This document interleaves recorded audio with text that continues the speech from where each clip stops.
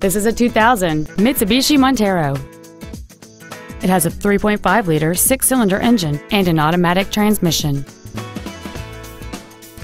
Its top features include a power glass sunroof, heater vents for rear seat passengers, a rear window defroster, a premium sound system, a leather interior, alloy wheels, running boards, an anti-lock braking system, a chrome grille, and cruise control.